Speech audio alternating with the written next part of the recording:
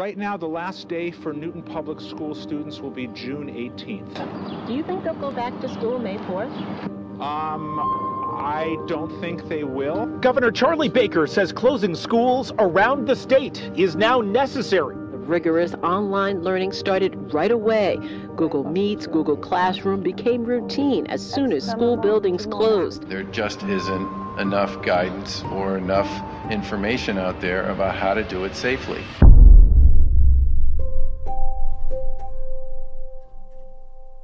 We made a decision to close for two weeks. Uh, we took the Thursday, Friday to have our faculty practice and to think about their lesson plans, uh, move into planning and training on Zoom, uh, looking at how we could support them from a professional development perspective, as well as the students.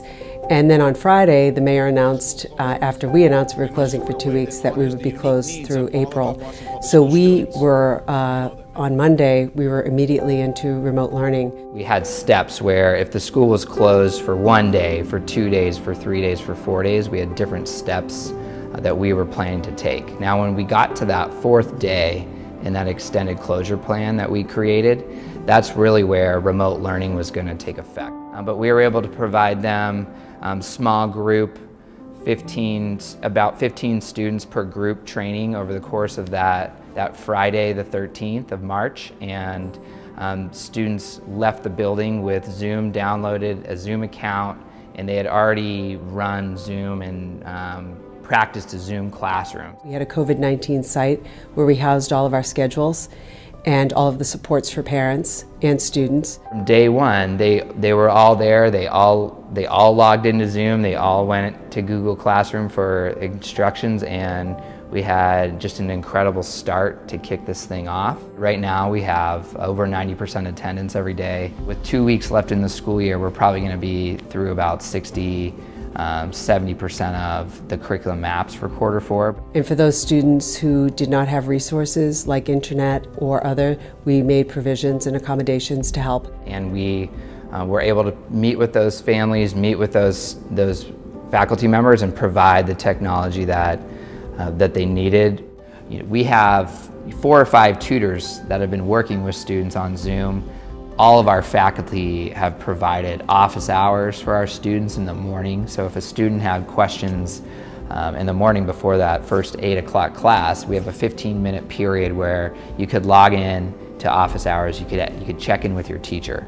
And then at the end of the day, there's a whole hour from 1 to 2 where students can go into any Zoom uh, room, remote room, and meet with any teacher and get extra help from that teacher. We've tried to incorporate some, some fun elements into the classes. You know, like I know one of the math teachers here, uh, Paula Daly, like she told her kids, like everybody wear sunglasses to class, like tomorrow. You know, we, we have, we have, we have teachers that are getting really creative to try to keep kids engaged. Coaches have continued with their athletes.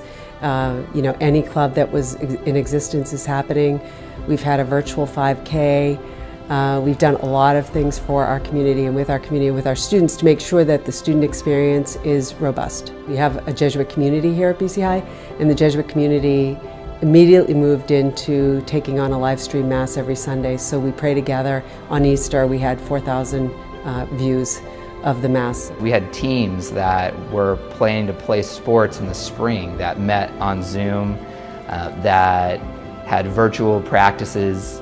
Uh, we even had a spring break where we ran uh, cooking classes, yoga, CrossFit, and we had activities um, for students and families and faculty to join in on during our April breaks. Uh, one of our alums, I spoke with him the other day and he said uh, he has three boys here, one's a senior, and he said, uh, kudos to you uh, BC High. He said, I, am in class every day with the boys. I love it. I'm learning so much, and you guys have done a great job. I've been getting emails um, probably every week from another parent with a compliment about how engaging a class is with a history teacher. We're scenario planning just like everyone else, and we're looking at the high schools, but we're also looking at the colleges and universities to see what they're doing. I think that investing in professional development with your faculty uh, making sure your students have the resources that they need to succeed, uh, making sure that you're all in lockstep in terms of your alignment on what a program could look like. If we had to go back to a remote learning plan or if we had to